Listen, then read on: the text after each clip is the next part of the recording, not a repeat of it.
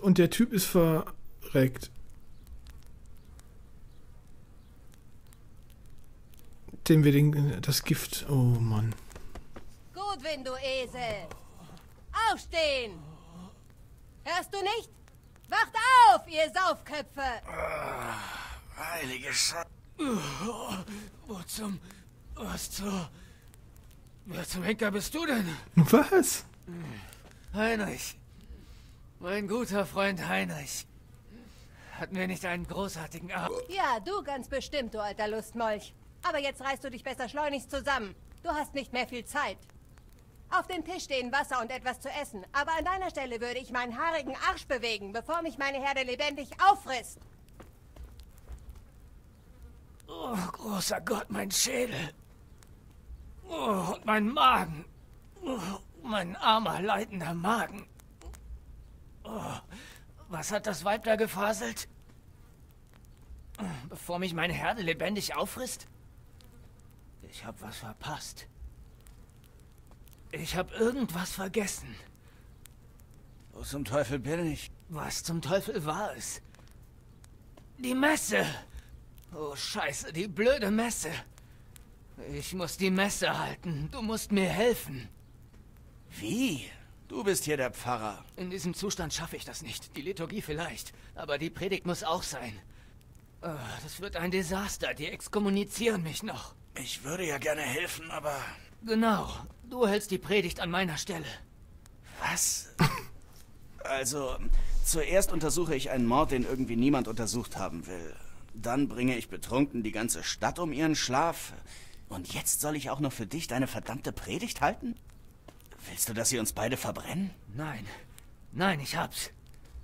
Wir sagen, du bist Herrn Ratzigs Schützling und kommst gerade vom Studium aus Prag zurück. Du möchtest Meister Jan Hus Lehren verbreiten, den du kürzlich hast predigen hören. Heinrich, bitte. Soweit ich mich erinnere, haben wir es gestern etwas übertrieben. Und wenn sich der Vogt oder jemand anders über mich beschwert, dann reißt mir der Bischof den Kopf ab.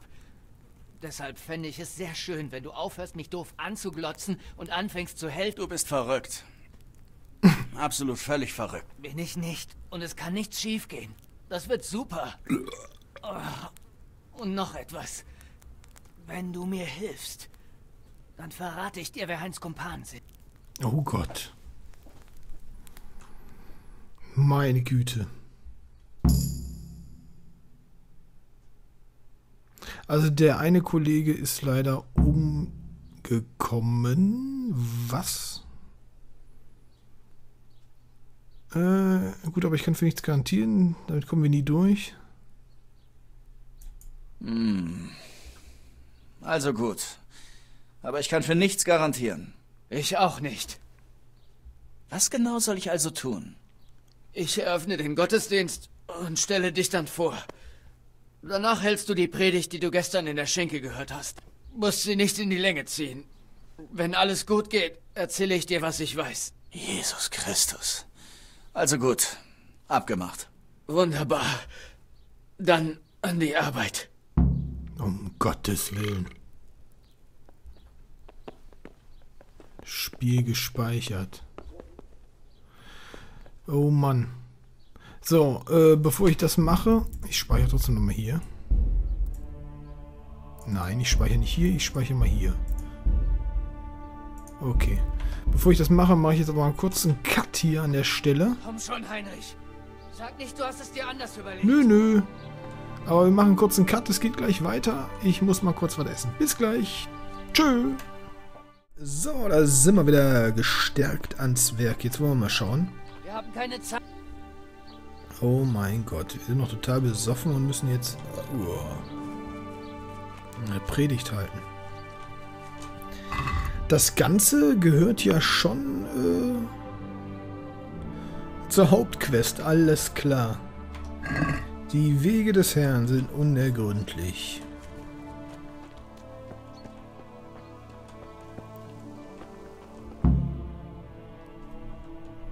Oh mein Gott.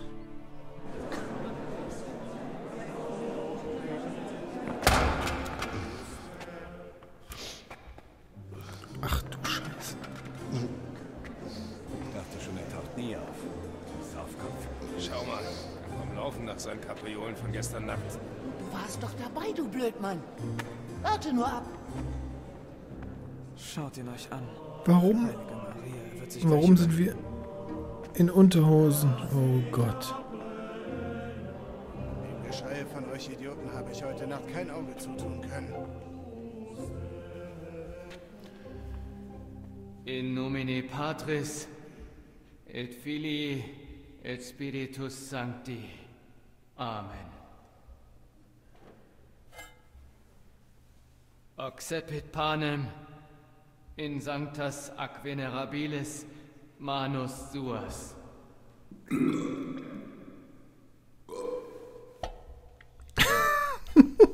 Alter. Hoc facite in meam commemorationem.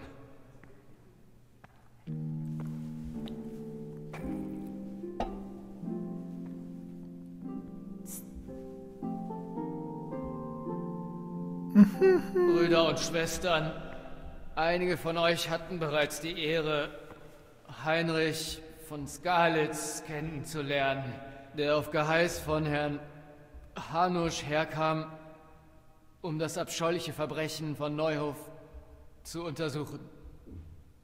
Vermutlich wisst ihr nicht, dass Heinrich kürzlich Prag besuchte und dort durch Gottes Gnade einer Predigt des Jan Hus von der hochgeschätzten Prager Universität beiwohnen durfte. Es gelang mir, Heinrich zu überreden, sich heute hier an meinen Platz zu stellen und euch Hus Lehren näher zu bringen.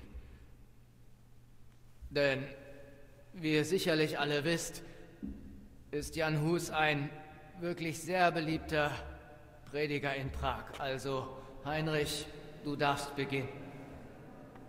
Bin ich gespannt. Oh mein Gott. Wer von beiden zuerst kotzt. Ach du Scheiße. Predigt selbstbewusst. Äh, okay. Brüder und Schwestern, lasst mich gleich zum Punkt kommen und über die Korruption der Kirche sprechen. Der Knabe ist eine Schande. Gott steht an der Spitze der Wir sind verpflichtet, lasterhafte Fälle abzunehmen. Die Schöpfung hat zwar jedem Menschen die Macht verliehen, über die Welt zu herrschen, aber diese Macht gibt ihm nicht gleichzeitig das Recht dazu. Dieses Recht gehört Gott allein. Was? In gemäßigten Ton fortfahren. Ähm. Es ist die Korruption von Gottes Seelenhirten hier auf Erden, welche uns Unglück bescheret hat.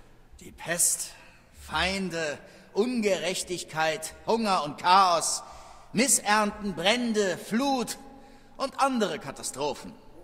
Und das alles wegen Ach du Scheiße. ähm, den korrupten Dienern Gottes, die nicht leben, was sie predigen. Sie glauben, sie könnten Sünden mit Geld fortspülen, indem sie Ablassbriefe verkaufen. Aber das, das ist nicht richtig. Denn Silber tilgt keine Sünden. Viel Selbstvertrauen hat er in Prag nicht bekommen. Okay. Sündige. Und welch Sünden? Sie leben mit Dirnen und halten sich Konkubinen, obgleich nur ehelicher Verkehr zum Zwecke der Fortpflanzung rein ist. Nimmt einer ein Weib oder ein Mann, nur um seine Gelüste zu befriedigen, wer verführt sie dazu, wenn nicht Satan? Und wie Oh Gott, ungeheuerlich, wenn dieser Mann ein Diener der Kirche ist. Ein Unzüchtiger, der das Messgewand anlegt und dann Gott sein Gesicht zuwendet. Nichts, was wir nicht eh schon wissen. Im barschen Ton fortfahren. Okay. Genug von den Sünden, von denen die Prälaten so gerne predigen und deren Absolution sie euch versprechen, wenn ihr der Kirche nur genug in den Rachen werft. Was, wenn der Teufel selbst zahlte? Sagen uns die Bischöfe dann, dass auch er in den Himmel auffährt? Und was ist mit diesen Bischöfen? Sie sündigen ohne Reue und mit dem Geld, das sie den Armen für Ablassbriefe rauben, halten sie sich edle Rösser und unzählige Diener. Sie würfeln und kleiden ihre Mätressen in teure Pelze, während Christus barfüßig war und seinen Kopf nirgends hat zur Ruhe betten können. Hört auf euer Gewissen, ihr, die ihr die Armen bestehlt, denn Gott und seine Jünger sehen euch. Nieder mit den Prälaten! Hinfort mit ihnen! Wir haben Glück, Pater Godwin zu haben. Einen gerechten und einfachen Mann.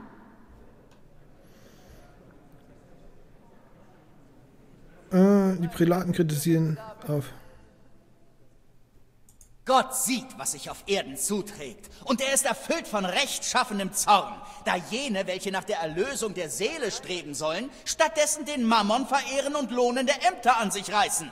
Gesegnet seien die Hirten, die die Armut ihrer Herde teilen, die eins sind mit euch und die mit euch die Bürde dieser weltlichen Pilgerschaft teilen, ohne eure lässlichen Sünden zu verurteilen. Ja, Ehre sei Godwin. Lasst ihn saufen wie unser eins. Das ist alles, was ich in Prag hörte. Amen. War das jetzt gut oder schlecht?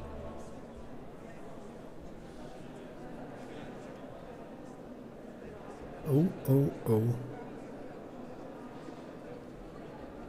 Er hat gut gesprochen.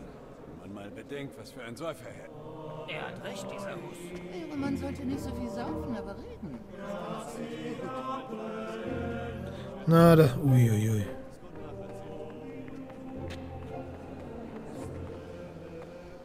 Das ging ja gerade noch mal gut. Alle Achtung, du hast wirklich Talent, mein Junge. Das muss ich dir lassen. Und du hast mir den Arsch gerettet. Ich hätte es nicht geschafft. Ja, das habe ich bemerkt. Und da war ich nicht der Einzige. Ach, was soll's. Ich bekomme das schon wieder hin. Also, unsere Abmachung. Obwohl es eine Sünde ist. Genauso wie Völlerei. Und Unzucht auch. Gott vergibt den Büßern. Gut. Was hat dir Heinz alles erzählt? War er an jenem Tag in Neuhof? Mit wem war er dort und wo ist der Rest seiner Bande? Ganz ruhig. Allzu viel hat er mir leider nicht erzählt.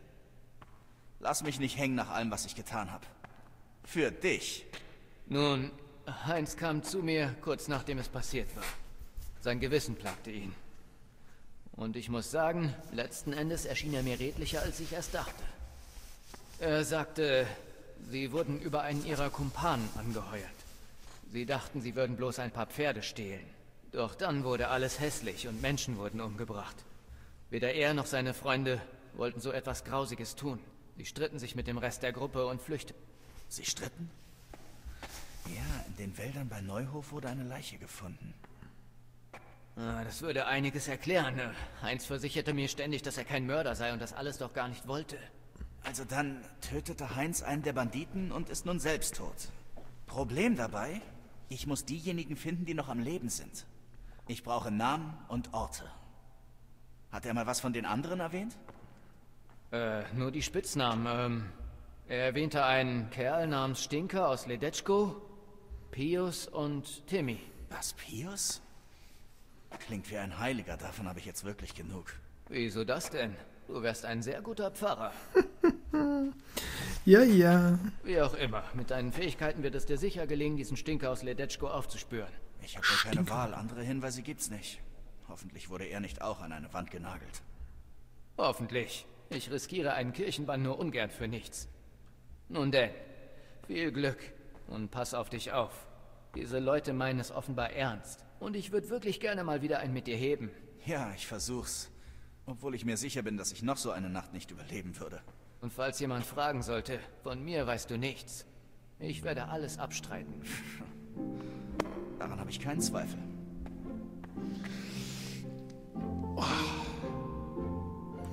Oh mein Gott, was für ein Ritt. Mein lieber Herr Gesangsverein.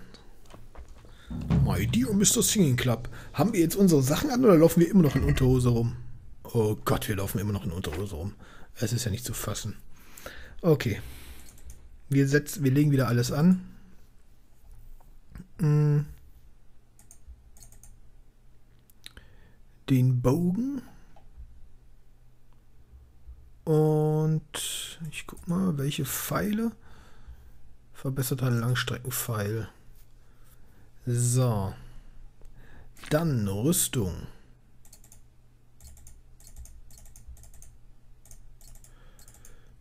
Äh, was? Oh, oh, oh, was haben wir denn da? Das sieht aber schick aus. Schade. Boah, das sieht richtig cool aus. Aber wir haben den Kyrsas. Na gut, dann behalten wir den. Das Kettenhemd. Nein, wir haben das ungarische Kettenhemd. Okay, ich gehe mal weiter durch. Hier, Beinschienen. Das Kettenhemd haben wir schon. Kettenhaube, natürlich. Die Stepplinge. Alte Schulterplatten.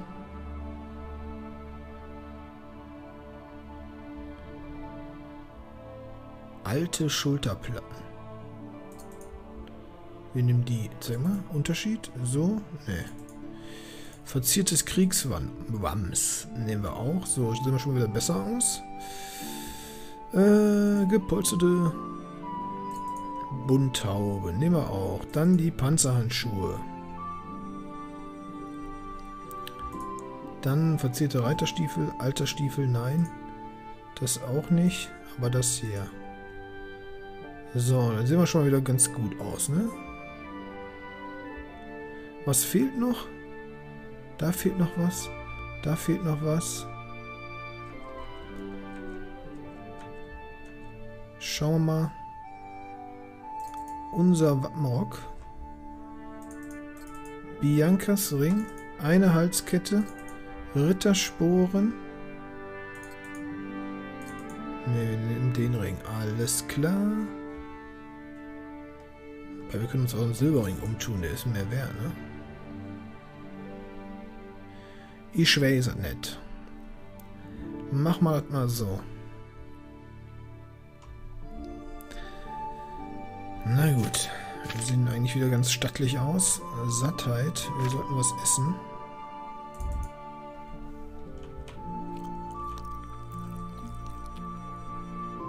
Dürrfleisch.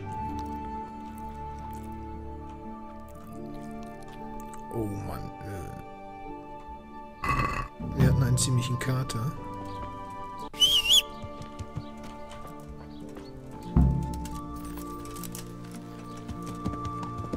So. Jetzt müssen wir nach Ledetschko. Und das hier lässt mich einfach nicht zur Ruhe kommen.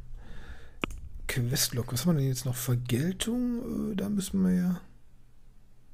Finde den Banditen in Ledetschko. Hm.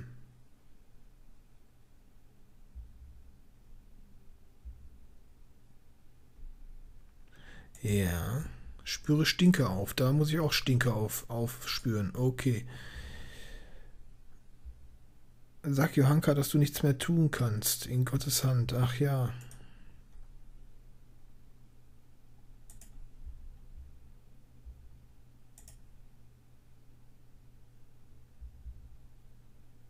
Ein Freund bis zum Tod? Ähm, sag nicht, die sind gestorben. Was ist denn los hier? Ja gut, ich muss sowieso nach Ledetschko.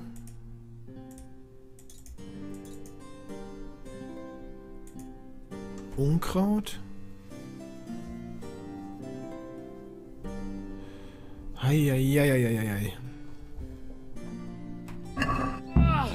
Bist du blind in Gottes Namen? Hier gehen Leute! In Gottes Namen, ich bin nicht blind. Was haben wir hier? Mit dem Kräuterweib sprechen. Ah ja, komm.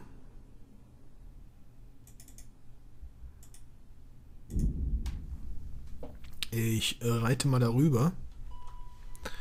Wir haben auch nicht mehr so viel Energie. Wir sollten auch mal pennen gehen.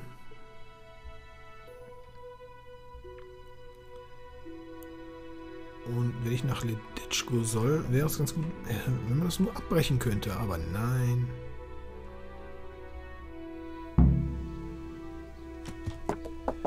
So.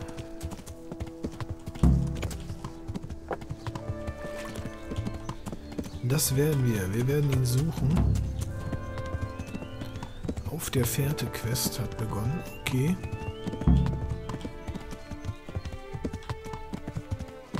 Naja, dann werden wir ja dann von Weitem riechen, den Stinker, oder? Er wird seinen Namen ja nicht umsonst haben. Aber ich werde jetzt trotzdem noch mal kurz in diesen Wald gehen. Das muss da sein.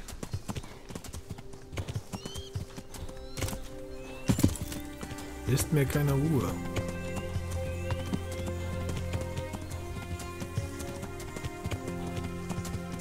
Verstehe doch nicht, warum ich diesen scheiß Brunnen nicht finde. Uh.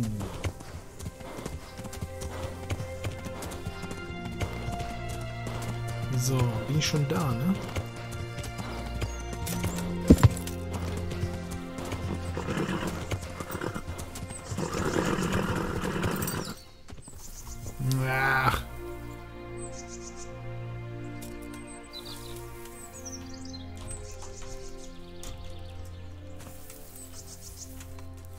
Mich abgeschmissen.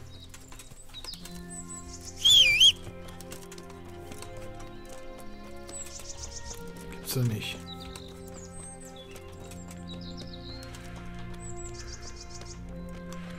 Ich suche den Baum.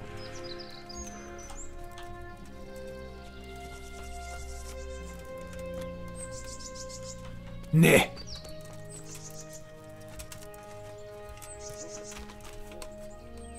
Das ist doch nicht zu fassen.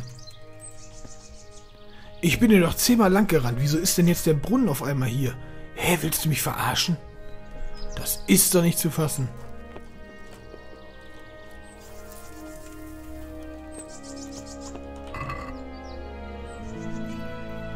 Gräser und Kräuter. Modische Schlappen, verpönter Würfel, was auch immer das sein soll. Das Ding sieht auch gut aus hier. Boah, 2,7k. Äh, nicht zu fassen. Okay, wir haben den Schatz gefunden. Meine Herren. Und da habe ich so ewig gesucht.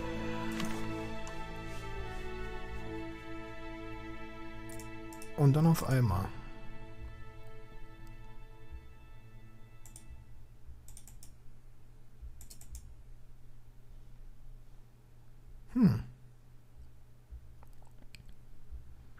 Wiegt mehr, aber der hat auch 25. Ich behalte ihn ankommen.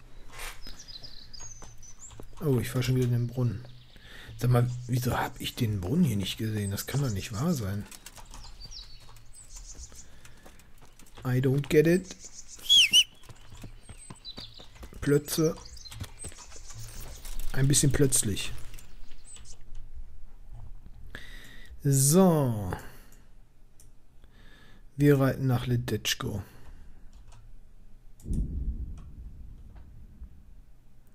Mit dem Pferd querfeldein. Alles klar, jetzt gucke ich jetzt erstmal nach unseren Leuten. Und die, ähm, wir haben ja gesehen, die Aufträge können doch äh, verfallen. Na und? Es wird wohl nicht besser, oder? Ich Was finde, ist hier los? Wie geht's? Ja, wie geht's? Wie gefällt es dir hier in der Mühle, Fritz? Bestimmt besser als in der Mine. Hier ist es schlimmer als in Scarlet. Dort konnte man sich hin und wieder aus dem Staub machen. Aber hier... Warum aus dem Staub machen? Hier gibt es keinen Wendel. Nein, aber der Vormann hier ist ein noch größerer Arsch. Ich weiß nicht, ob das möglich ist. Das kannst du ruhig glauben. Am liebsten würde ich es ihm heimzahlen und ihn im Fluss ersäufen. Hä? Ersäufen? Was hat er euch denn getan? Es geschah an unserem ersten oder zweiten Tag hier. Wir hatten eine Meinungsverschiedenheit und haben uns geprügelt. Weil der sich immer Plötzlich schubst mich prügelt. dieser Hundskerl in den Fluss. Ich bin fast ersoffen. Wie bist du rausgekommen? Du kannst nicht schwimmen. Sie haben mich rausgezogen. Ich war bis zum Bauch im Wasser. Verstehe. Da wäre ich auch verdammt sauer. Willst du es ihm heimzahlen? Und wie ich das will. Das alles hier ist mir scheißegal, aber der Bastard verdient eine Tracht Prügel. Na toll.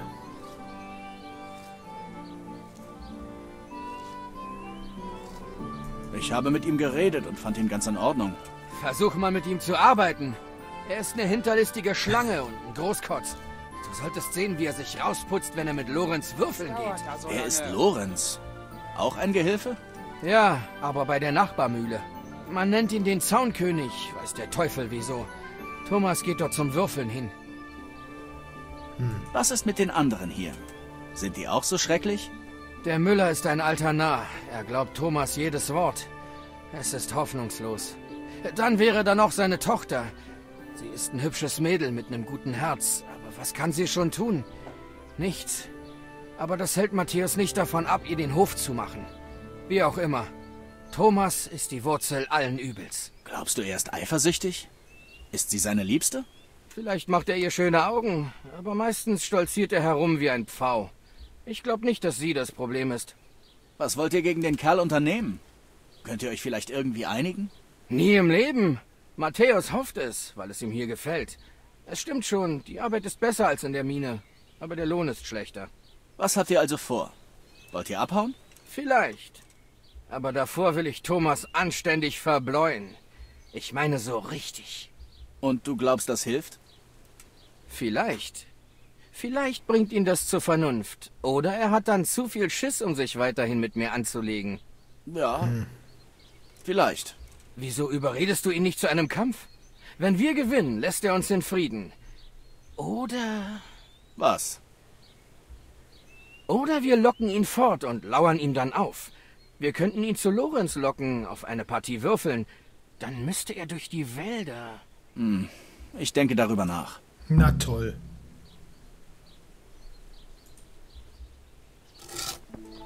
Achso, Faustkampf konnte ich jetzt hier nicht mehr üben. Nö, ne, hatte ich schon.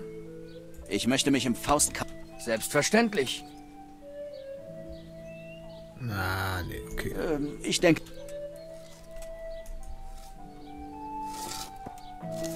was sagt denn der Ma Matthäus? Wie geht's? Wie ich höre, habt ihr es hier nicht leicht. Hast du mit Fritz geredet? Ich wette, so hat er es nicht ausgedrückt. ja, nicht ganz. Abgesehen von Thomas Namen gab er fast nur Schimpfwörter von sich. Das glaube ich sofort. Die ganze Woche schon muss ich mir das anhören. Der Vormann ist aber auch ein Quälgeist. Er will uns entweder zerschinden oder zwingen zu gehen. Hm. Er treibt euch ständig an, oder? Wenn das bloß alles wäre.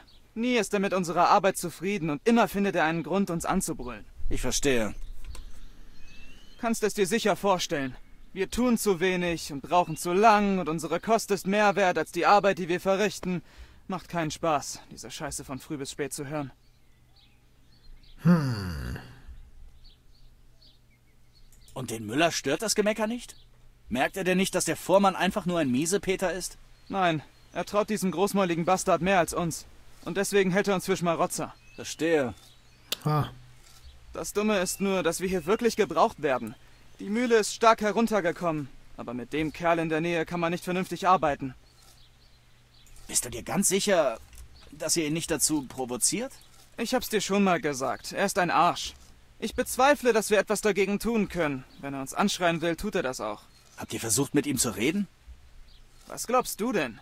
Gerade das bringt ihn in Rage. Er sagt dann, wir wären nichts anderes als Banditen. Das wiederum bringt Fritz in Rage, der dann anfängt zu brüllen und... Hm. Und was wollt ihr dagegen unternehmen? Abhauen? Eigentlich würde ich gern noch ein Weilchen bleiben. Hätte nie gedacht, dass mir die Arbeit in einer Mühle gefallen könnte. Aber nicht solange er hier ist. Und ich kann mich bei niemandem beschweren. Du schon. Ich? Du glaubst, sie würden auf mich hören? Haben sie doch schon einmal, oder nicht? Wegen dir haben sie uns eingestellt. Du könntest versuchen, mit ihnen zu reden. Aber da reichten Versprechungen. Das hier ist schwieriger. Vergiss übrigens den Müller. Thomas musst du überzeugen. Der Müller schätzt seine Meinung sehr. Also wirst du uns noch einmal einen Gefallen tun? Na schön, ich rede mit ihm.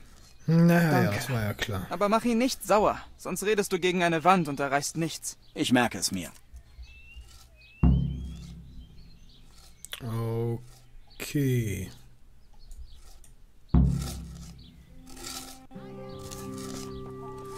Wo finde ich den Typen? Der hier bestimmt. Alter Thomas. Gott sei mit dir. Ah.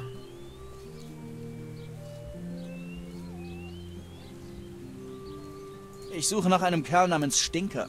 Kennst du ihn? Du meinst Hinek, den Sohn des Gerbers? Weißt du, wo ich ihn finden könnte? Keinen Schimmer. Versuch's beim Haus der Seinigen. Allerdings verbringt er kaum Zeit dort. Okay. Sohn des Gerbers. Warum wird Hinek eigentlich Stinker genannt? Nun, er ist ein Gerber. Wenn du je in seinem Windschatten stehst, wirst du es schon merken. Gerben ist nichts für schwache Mägen. Wahre Worte.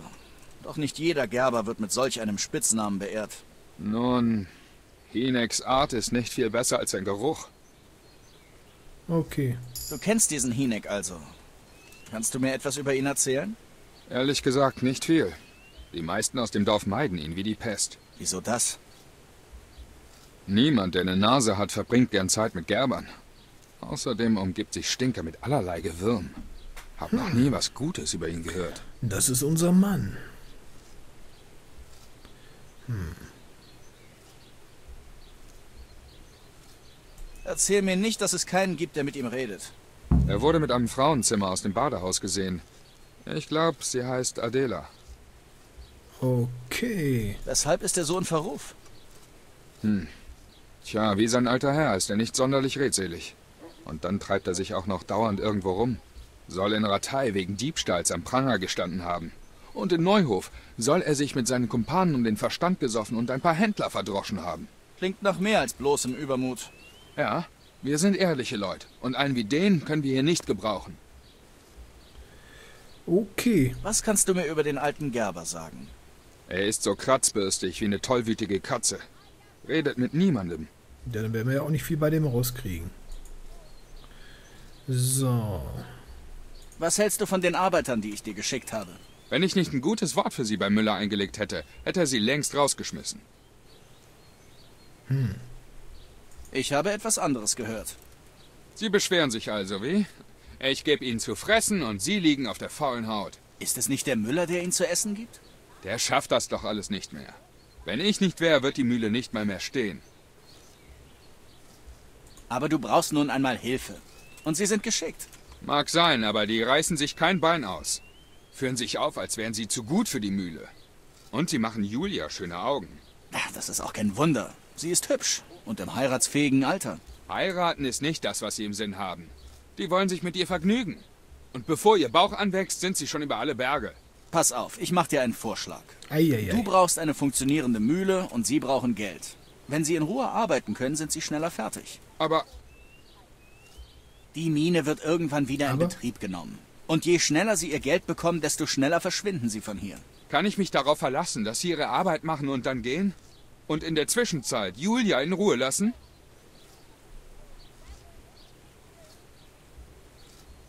Hm, ich werde dafür sorgen. Sicher. Sie haben kein Interesse an der Mühle. Brauchen nur das Geld, um ihre Schulden zu begleichen. Sobald sie es haben, gibt es keinen Grund für sie zu bleiben. Hätte nie gedacht, dass wir auf einen grünen Zweig kommen. Ich kenne sie schon eine Ewigkeit. Du kannst dich also darauf verlassen. Das ist für alle die beste Lösung. Na schön. Und wenn Sie Ihren Teil der Abmachung erfüllen, gebe ich Ihnen sogar ein paar Groschen obendrauf. Aber wehe, wenn nicht. Sag Ihnen das. Alles klar. Gut, gut, gut, gut. Ähm, er fängt direkt wieder an zu mosern. Ich möchte noch mal wegen Thomas fragen.